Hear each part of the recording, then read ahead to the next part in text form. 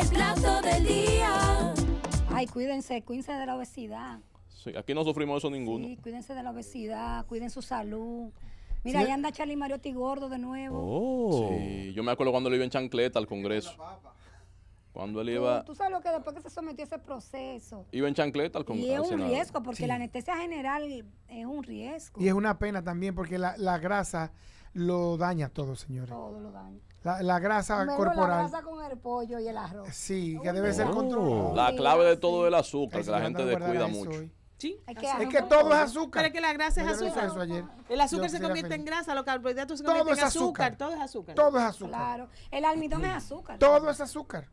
Tú te pones tu batatica y tu cosa. Pero eso el índice glucémico de la batata es bajísimo. Es bajísimo. sí. Bajísimo. Yautía, Te batata. recomiendan comer batata, Sí, Claudia. Mi esposo es diabético y come batata. Te recomiendan. En, en Ba- la mañana. yautía blanca, batata, guineíto, Mm. guineíto. Y no a Y, cada la yautía rato, ¿eh? amarilla me El rulo, el rulo, el rulo. Hay una, Ay, hay, una explicación de incluso el plátano verde es bajo en calorías relativamente. A me Lo que lo daña es que se, que se que se come con una cantidad de grasa muy Ay, le grande. echamos mucha mantequilla al Mucha mangú. mantequilla y mucho No, y aceite hay verde. víveres eh, que son que tienen más eh, almidón que otros. Ah, la Sí, yuca, la yuca la yuca, el que Sí, es el rey del almidón. ¿Tú no puedes comer el plátano maduro? Eh, se supone que el plátano maduro es lo ideal comerse, lo que es una que es cuando la fruta está en su ciclo completo. Porque el plátano verde y el, el, y el guineíto y el rulo son frutas inconclusas. Oh. No son vegetales que se pueden comer verdes. Ah, porque a mí me Pero gusta, esa- el, a mí está me gusta el ofendido ahora plátano- mismo, está ofendido un camión de plátano allí ahora mismo con lo que tú acabas de decir. Mira, ¿no? ¿por qué la cultura no va a cambiar por ofendida. eso? Ah. Mira, tú sabes que a mí me gusta Las el plátano asado. Musa paradisíaca Y los, L. lo- Horneado. los air fryer, para eso son geniales. Mano horneado. Musa Los lo Yo que yo no quiero ruido en mi cocina. Musa paradisíaca Yo te dije L. en próstalo. Oh. Señores, Señores, informaciones, noticias, señores, ustedes se son están 17 dañando. diputados. Esa es la que va ahora. Qué linda Carolina Hay Mejía. cuatro Qué que dicen bella, que hermosa. no. Señores, de verdad, qué bonita es Carolina Mejía. Y su hermana Qué Lisa. pelo tan bello tiene Carolina. Linda también. Oh. ¿Eh? Alambón. Yo precisamente. Mira, eh, eh, su hermana Lisa también es muy bonita. Ay, yo no la conozco. Sí, Es más joven. De quien sí soy pana de la esposa de Hipólito. de- Ay, que de- toda de una Ramón Hipólito. De, eh, de Doña. Yané. Doña Yané. Que Pana, pana, ella es la pana. que es la sensación en las redes Oh. sociales. No, esa es la otra. No, esa es es esposa. Leti, Leti esa es Leti Rivera, Rivera, su que hermana. Ajá, hermana de Yané. Sí. Pero ah, Yané me ama y yo Sí. la amo. Pero Ah, mira, Leti Rivera, eh, eh, una muchacha bien. Sí. Que está bien. Y ella, y Pero algo pero ahora hablando de gente- Nuestra, la Hilton, ¿cómo se llama? No, pues yo me voy a ir de aquí. nuestra Paris Paris Hilton. Yo me voy a ir, Sí. me voy a ir de Y aquí. excéntrica. Y sí. Yo no estoy ¿Qué para allá. es? Una ¿Qué es lo persona, una persona pobre, con muy, que lo cuenta todo de un loco. Ok. Pero si es rico y, y es así súper simpático, es excéntrico. Sí, sí, sí. Sí. Y además es cute. Es cute. Un blanco con bata es doctor. Ajá, un Y negro blanco con carnicero. bata- Ey, me voy de aquí, esos chistes no me gustan a mí aquí. No me gustan esos chistes a mí aquí. Señores, jefe, dígame, la dos. Muy bien. El Partido de la Liberación. Volvemos al centro, a lo que nosotros hicimos reuniones para lograr, pero se ha puesto demasiado bueno el programa. El Partido de la Liberación Dominicana depositó en la Cámara de Diputados un informe disidente. Ay. Para evitar un juicio político contra los miembros de la Cámara de Cuentas. Nuestro compañero Abednego Paulino nos amplía. Ay, Dios.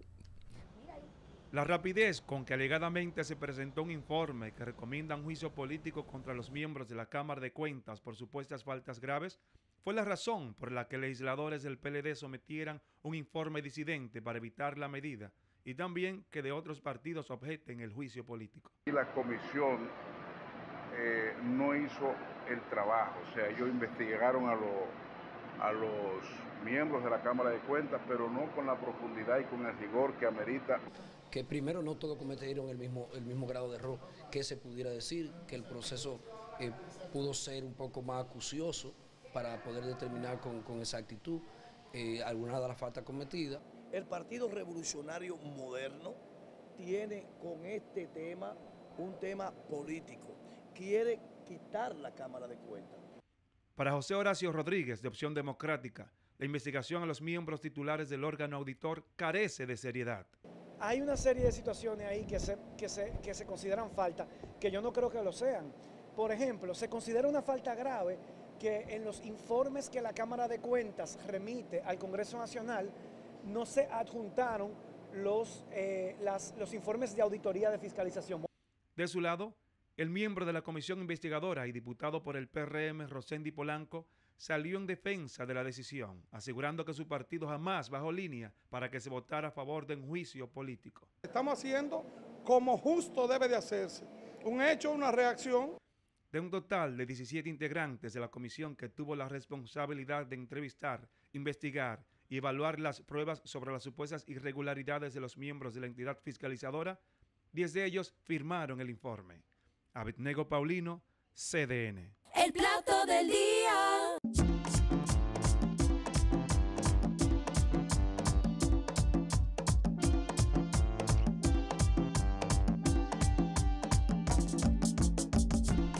Bueno, ¿y quién los entiende Nadie ahora? lo entiende. Nadie entiende, nadie Pero entiende. todo eso es parte del juego político. Recordemos que estamos ya en el fragor de la campaña Sí. política y no es verdad que el PLD se va a sentar a aprobarle todo lo que quiere el Partido Revolucionario Moderno. Ah, Pero Sí. la verdad que quedan mal también, ¿verdad, Samuel? Porque se suponía que el tema de la Cámara de Cuentas es un tema que debe interesarnos a todos, como decía Morita. Claro. A lo mejor en principio ellos no se imaginaban o no sospe- llegaron a sospechar de que, como sospechan ahora, de que se trata de una estrategia del partido de gobierno para construir una, una Cámara a su favor, que es la- el, el argumento que ellos tienen.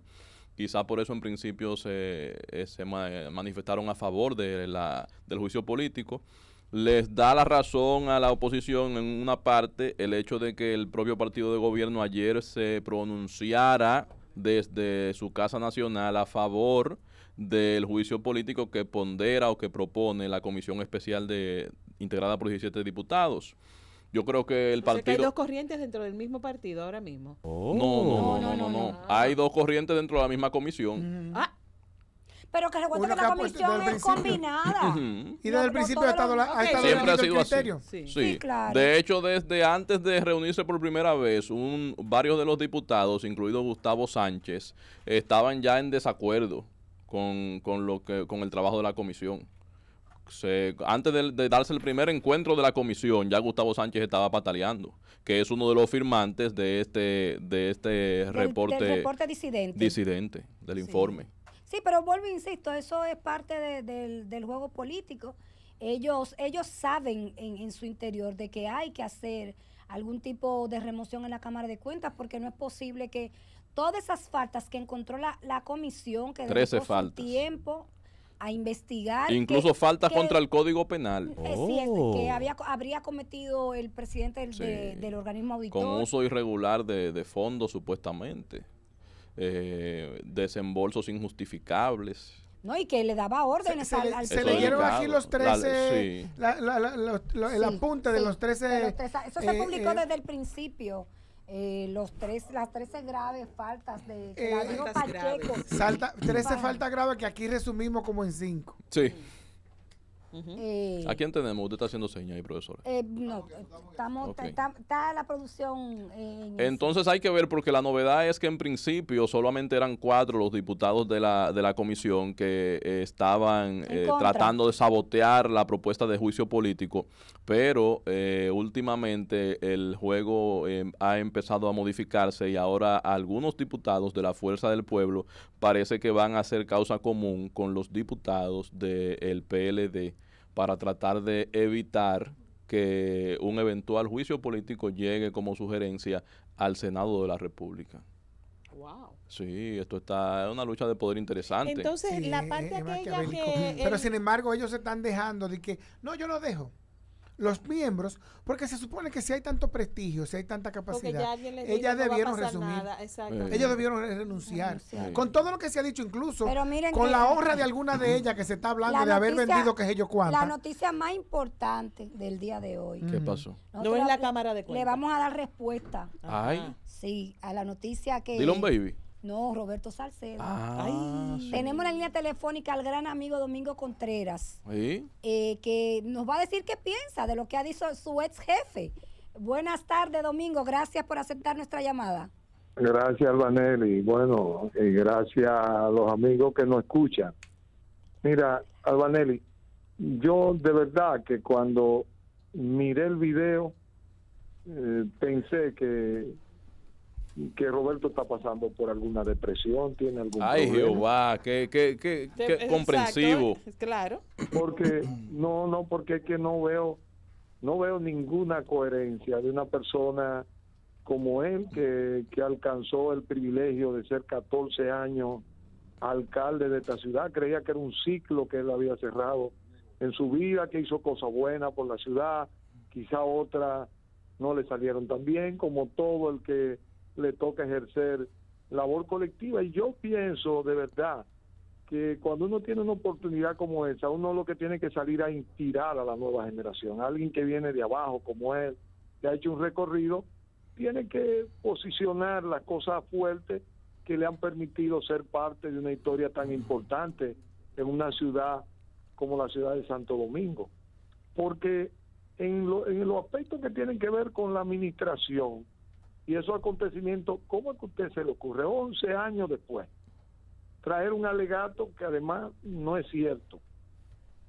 Pero yo realmente no quiero distraerme y quiero realmente, y lo he dicho, quiero recordar lo mejor que hicimos como equipo, porque no solo se trató de Domingo Contreras, se trató de mucha gente, de Víctor Valenzuela, de José Miguel, de Ditren en un momento, de Ángel Segura, de, de, de mucha gente, Neri Martínez, de mucha gente que trabajamos ahí, muchas horas con pasión, porque, y que abrimos un espacio en nuestra vida que algunos nos ha llevado a seguir profundizando y recorriendo ese camino. Algunos nos terminamos convirtiendo en municipalistas y, y hemos dado continuidad a eso, de modo que, que no, no, no le veo sentido realmente y, quisiera concentrarme en los retos que tiene la ciudad, porque hace unos años, ya en el 16, para mí era muy claro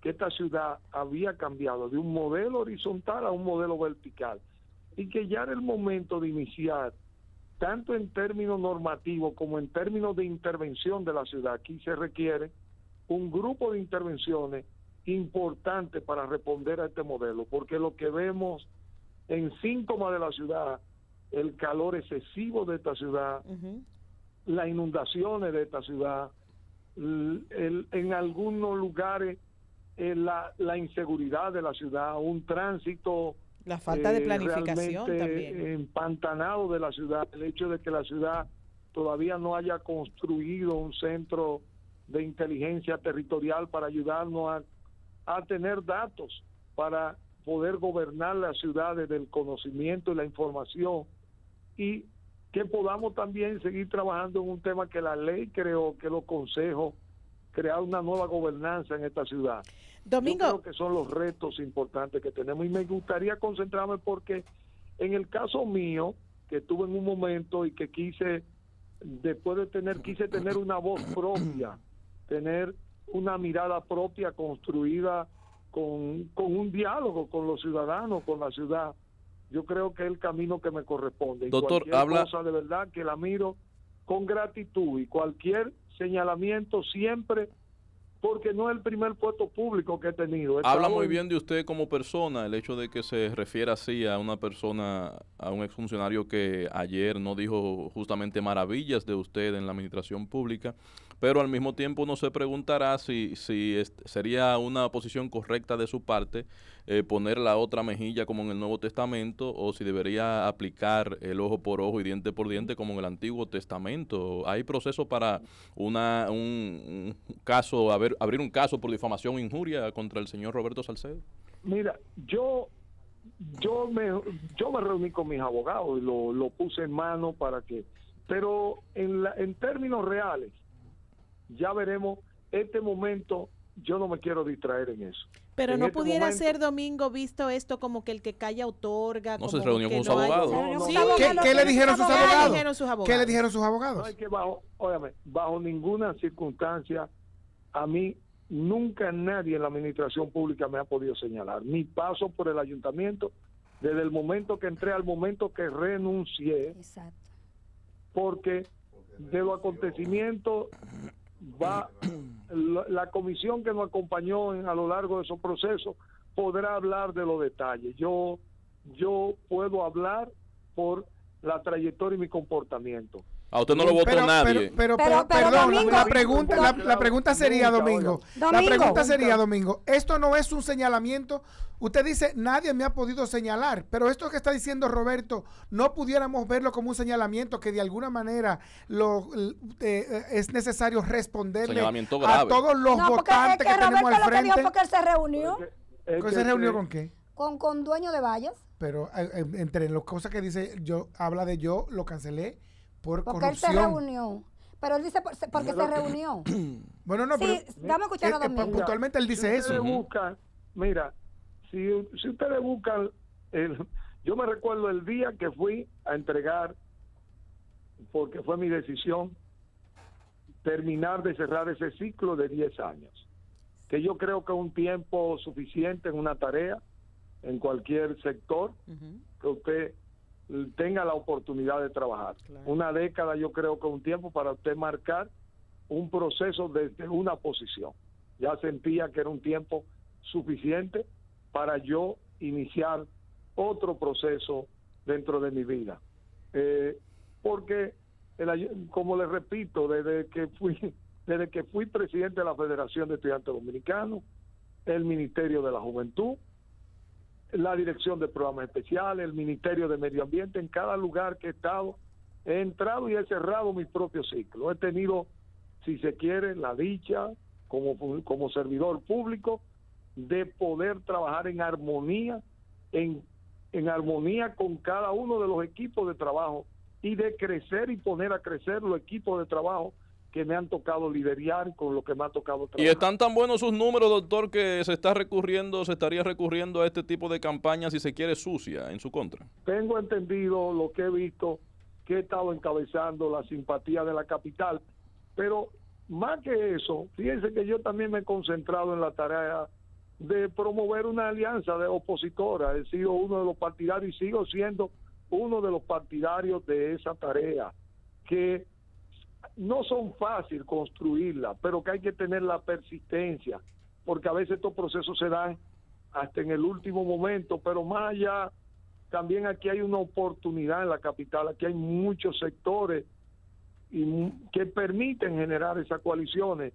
Yo los temas, esos temas de señalamiento, sabré, he sabido siempre responderle y lo estoy respondiendo. No tengo absolutamente nada que ver con ningún acto antiético a lo largo de mi gestión y mi, y mi presencia en el ayuntamiento. ¿Cuándo se estaría secretario general, definiendo, ¿cuándo se estaría definiendo, doctor, la posición legal de su equipo de abogados?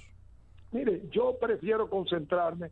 Ellos tomarán, ellos harán los análisis del lugar. Yo me concentraré en la parte política. Quiero mantenerme trabajando en la parte política de la ciudad, porque después ustedes, yo no quiero entrar en detalle porque ese proceso, cuando usted lo vea, se va se va a aclarar en un documento de la A a la Z Muy bien. de Como parte del equipo y de todo lo que ocurrió a lo largo de esa historia de trabajo con el tema de la publicidad exterior, en el cual ustedes lo Por el cual fue acusado específicamente, claro, el que Pero- fue mencionado. Pero no, no está alrededor de estipula- quién. no- no está estipulada la demanda, Domingo. ¿Eh? No está estipulada la demanda. No quiero, no quiero entrar en, en, traba- en- Sí, en no- ese detalle. No me lo Quiero- force ya, doctor. De espera el comunicado, no comas ansias. Óyeme, quiero, Dios con- mío. quiero, quiero concentrarme Sí. y, y le diría esto que para mí es fundamental, porque recuérdense que yo en el 2016 hice una lucha política porque aquí se permitiera, se me permitiera competir por la alcaldía del distrito. Sí. Y en el 2016 yo tenía apenas, eh, yo había salido en el 2000, en el 2012 de la alcaldía, de modo que tenía cerca de tres, cuatro años que había salido, de modo que cualquier señalamiento ese era el momento para Pero, hacerlo. pero en ese momento estaban en el mismo partido, Domingo. No, y, actuaron. Pero la y actuaron, perdón, está bien, está bien, perdón. no sea, quiera. La está his- mal, está mal sí, donde pero la historia nos ha dicho que el PLD no actuaba así, nunca actuó así. Hasta Abel Martínez, el PLD nunca actuó así. Pero, pero en ese momento, pero en ese momento eh, Roberto entendía que era una traición Domingo haberse ido y no seguir apoyándolo. Se debió denunciar. Pero seguía dentro del Debió- partido. Pero debió, pero es que Roberto nunca ha sido del partido. ¿Cómo, cómo que no? ¿Y quién lo que- llevó a la, a la alcaldía? Albanelli, Sí. es que él no tenía nada, que él no tiene absolutamente nada. Y ustedes, cuando lean el documento, se darán cuenta. De modo que lo que yo te diría, que lo fundamental, 11 años después, nosotros hemos ido construyendo un liderazgo en esta, en esta sociedad, que igual que a él y que otro, le ha dado su oportunidad.